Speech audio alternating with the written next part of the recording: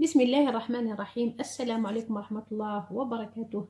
أبناء طلبة سنة رابعة متوسط ما زلنا معكم في تكملة حل الاختبار الفصل الثاني. إذا وصلنا للتمرين الرابع عليه ثلاث نقاط وهو على الأشعة. ركزوا معي. إذا التمرين يقول A B M ثلاث نقاط ليست على استقامية. إذا راح تشكل مثلث. باش ما تكونش على استقامية ل... في آن واحد راح تشكلكم مثلث. إذا السؤال الأول راح يقول أنشئ النقطتين إي وأن حيث الشرطين التاليين. إي هي منتصف AB وأي يساوي أم أن إذا نبدأ على بركة الله في إنشاء منتصف القطعة المستقيمة AB إذا لاحظوا معايا. اليوم راح ممكن آه، تعيين منتصف قطعة مستقيمة بطريقتين سواء نحسب قيمة آه، مسافة AB نقسموها على اثنين. إذا هنا مثلا طلعت لي ثلاثة نقسم ثلاثة على اثنين طلع لي واحد فاصل خمسة. أو نستعمل طريقة المدور طريقة المدور هي كالتالي إذا نفتح المدور تاعي على أكبر من نصف يعني هكذا. أكبر من النصف بقليل. ثم إذا ندير قوس من الجهتين.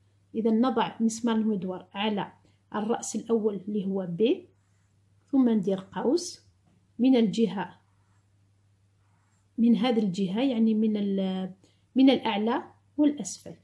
بنفس الطريقة على نفس فتحة المدور أضع مسمار المدور على أ نفس الشيء ندير قوس حيث يتقاطع القوسين من الجهتين.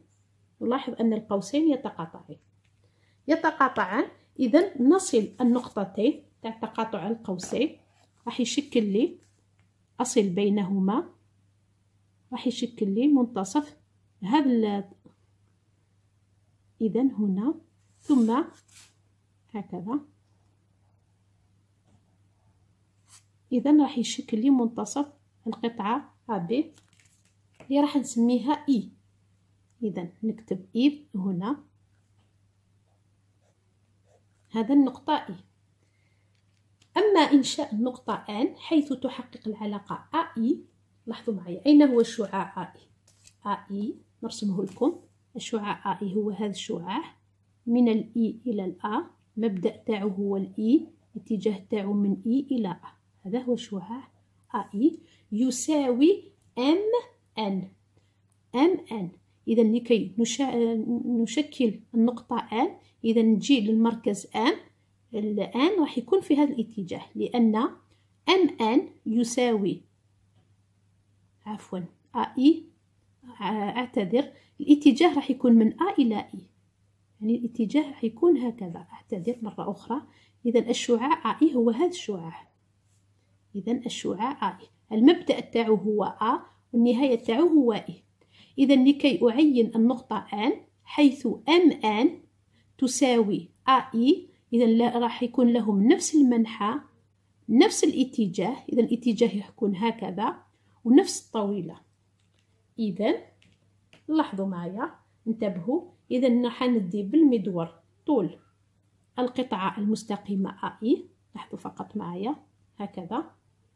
إذا بعدما ديت بالمدور طول القطعة المستقيمة طبعا أي راح ننشئها على أم ندير قوس هكذا. ثم قلت أن لهم نفس المنحى نفس الاتجاه نفس الطويلة. إذا كيف راح نعين آن؟ تقاطع القوس مع المنحى لازم يكون موازي لأي هذه هي تعريف شعاعين متساويين لهم نفس المنحى نفس الاتجاه ونفس الطويلة. إذا تقاطع هذا المستقيم الموازي لأي هو اللي حيشكل لي النقطة أن إذا النقطة أن تقع هنا. أتمنى فقط أن يكون الشكل واضح.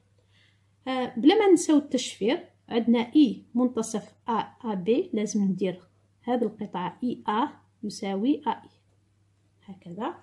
ثم التشفير الثاني I أيضا تساوي M N قلنا أن شعاعين متساويين لهما نفس الطويلة ونفس الاتجاه ونفس المنحى السؤال الثاني يقول ما طبيعة بي إي أن بي إي أم أن بي نبداو إذا نشكل أولا الرباعي. لاحظوا فقط معايا. نصل بين النقاط. بي إي لاحظوا معايا. بي إي بي إي بي إي اللي هو هذا؟ ثم إي إم I M هكذا.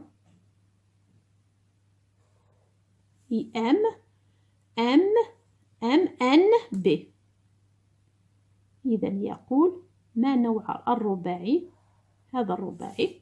إحنا واش عندنا؟ نلاحظ حسب الشكل أن I B تساوي M N إذا ولكن قبل ما نكتب مباشرة إذا نكتب طبيعة الرباعي B I M N إذا لاحظوا التعليل على آه، طبيعة الرباعي B I M N لازم تكتبوا I منتصف A B ما معنى I منتصف A B لاحظوا معايا I هذا راهي منتصف القطعة المستقيمة A B واش عندي العلاقة؟ عندي A I تساوي I B وعندي في المعطيات أن A I ماذا تساوي؟ M N إذا من خلال العلاقتين إي يساوي بي و إي يساوي أن إذا راح نستخرج أن بي يساوي إي بي هذا الشعاع يساوي هذا الشعاع.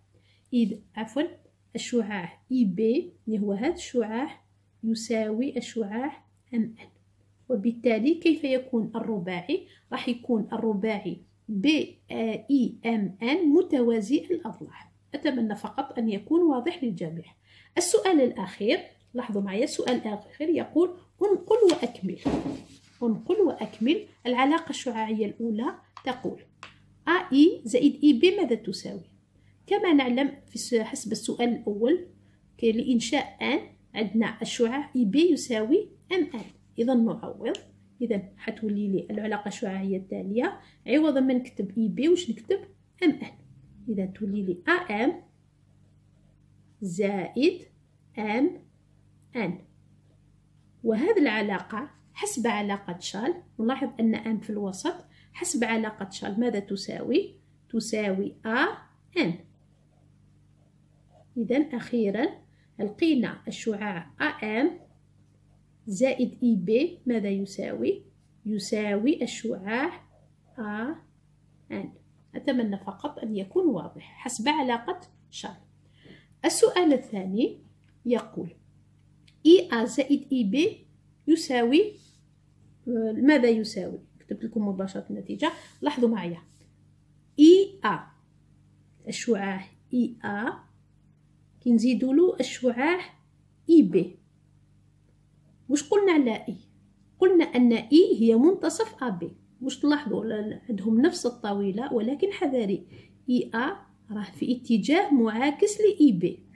إذا I A بالنسبة ل I B ماذا يساوي؟ I A راح يساوي لي I A يساوي ناقص I B وبالتالي نعوض I A بقيمته هنا في العلاقة الشعاعية تساوي ناقص I B زائد AB يساوي الشعاع المعدوم لأن الناقص AB زائد AB يساوي الشعاع المعدوم أتمنى أنكم أجبتم الإجابة الصحيحة. بالتوفيق للجميع وإلى الملتقى إن شاء الله في آخر فيديو لحل الاختبار مع الوضعية آه، يعني الوضعية الإدماجية.